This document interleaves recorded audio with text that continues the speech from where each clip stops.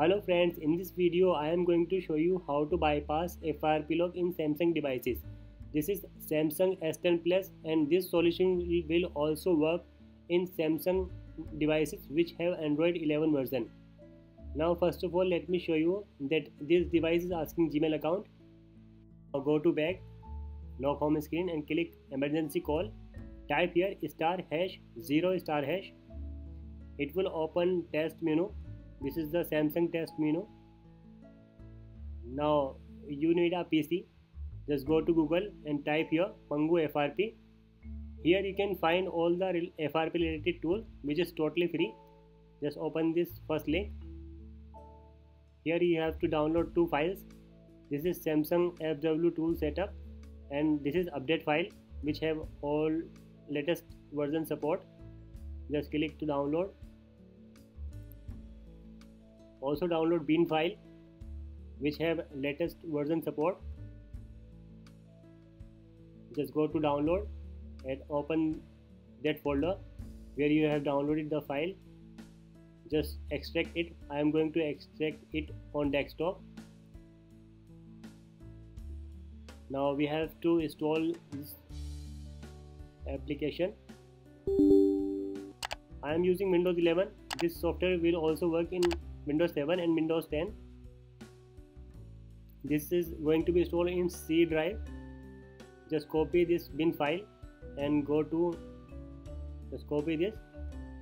And uh, I don't want to launch this application. Just close it and go to my computer and go to C drive. Here you will find the installation directory. Just go to down. Go to down. Here of data. And then paste it the file here. Just replace the file. Just close this window and open the same tool.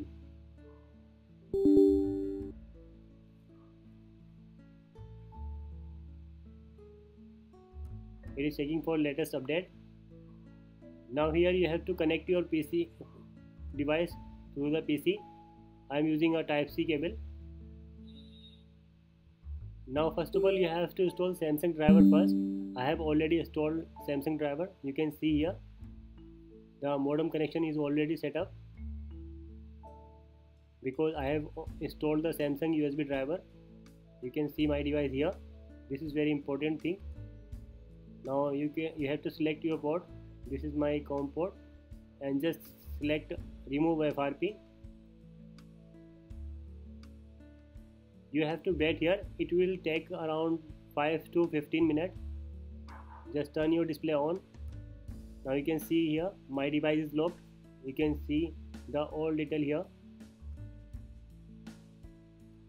Do not disconnect your data cable until you hear a pop-up on your mobile screen. Just keep waiting. In my case it has taken around 10 minutes to remove FRP now it is enabling the ADB mode. Now you can see a pop-up here. Just tick over here and accept it. Read the thing. Just uh, you can see here my device is, has been unlocked successfully. Now my device is also going to be reset automatically. You don't need to anything to do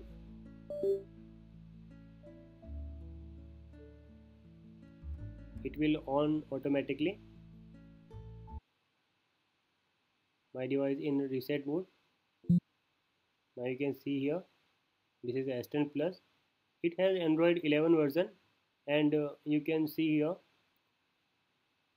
it is taking time to on. So if you like this video hit the like icon. And if you have questions regarding or other solution you can ask me in comment section now you can see here my device is successfully on. And uh, it has no FRP lock. Let me show you the Android version first. Let's go to settings. Just click about. Software information. This is one UI 3.1 and Android 11 so thank you for watching this video. See you in next video. Till then bye